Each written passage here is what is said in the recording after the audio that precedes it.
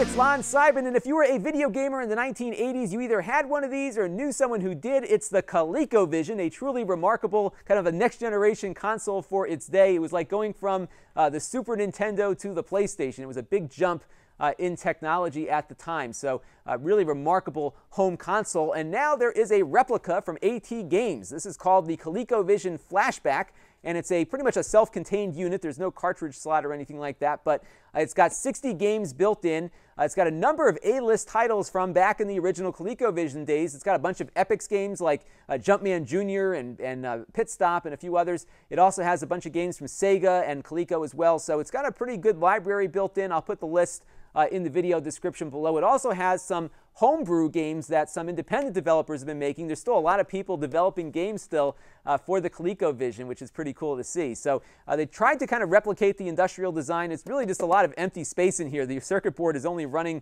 uh, kind of in the front here. The rest of this is just a uh, open space. So it's a very lightweight, kind of flimsy feeling console. Um, you connect it to your TV, unfortunately, with a composite cable. It's not uh, doesn't have any HDMI or any kind of HD uh, up, uh, upscaling or anything built in. So you're basically plugging it in uh, the same way you plugged your Nintendo and your Sega and all the other stuff you had in the 80s and 90s into your television set. It's just a standard RCA analog cable. So if you have an older television or one that doesn't have a very good scaler, you might get uh, some, uh, some little delays in uh, controller response. And speaking of controllers, they tried to also replicate the look of the original Coleco controller. It's nowhere near as good. It feels very flimsy.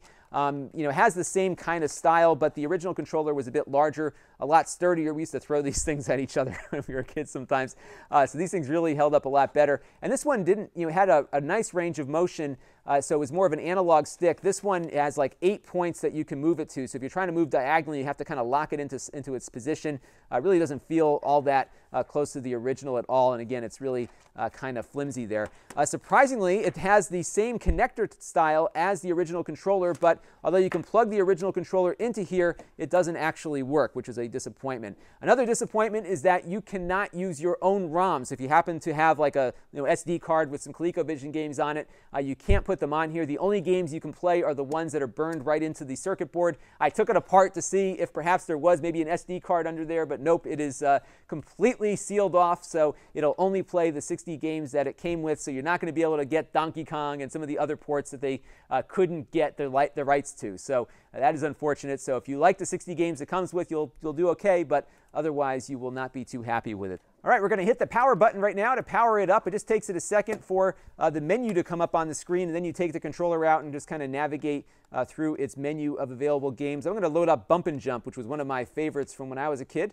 and we'll let this go through here. You got to wait, uh, just like you did on the original, there was a, a, wait time for the licensing screen to come up, so you had to sit through this for a second, and then uh, you would be presented with some options. And one of the things that was unique about the ColecoVision is that it had this number pad for uh, selecting the kind of game you wanted to play. Uh, this game in particular worked with their driving expansion. They actually had a really good driving wheel that uh, was an expansion kit that worked with the original. So we, of course, don't have that, so we'll hit uh, one for standard controller here and then we'll do uh, one. Now, before I turn on the game, I'm going to turn the sound on because I want you to hear the sound. And um, now, many of you may not have played these games back when you were kids, but this sound is not what it's supposed to sound like. So uh, I'm going to take a quick little break from uh, the action here so you can hear uh, what the original was supposed to sound like.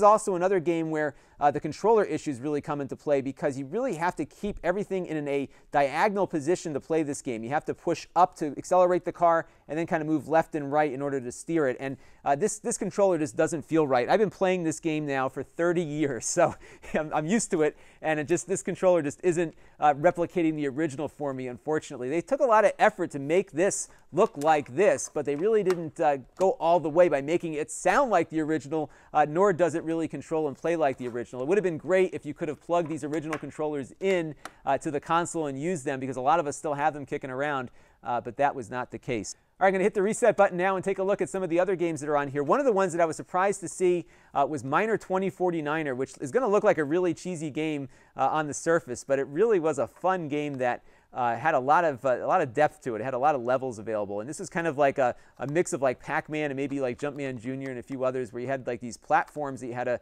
uh, basically climb up on and then turn the little stripe to a solid color while not getting eaten by the little ghost guys here. And it was really challenging, uh, but a lot of fun. So this was another one that uh, I liked to play a lot as a kid, and another one again that doesn't really control all that great because of the uh, the really lousy controllers that came with the console. Now, one last game I wanted to show you is Zaxxon, which was a popular Sega game from back in the day. Uh, this is another example of how the sound is really going to disappoint you if you were a, a big-time Coleco player back in the day. So let me wait for this to uh, get past its screen here, and we will go ahead and start the game real quick. And I have the sound up right now so you can get a feel for uh, how this is sounding. And just it's just not doing it for me if you can hear it. It just uh, sounds horrible. It didn't sound all that great on the original either, but it sounds a lot worse now. And I'll let you uh, listen to what the original sounded like now.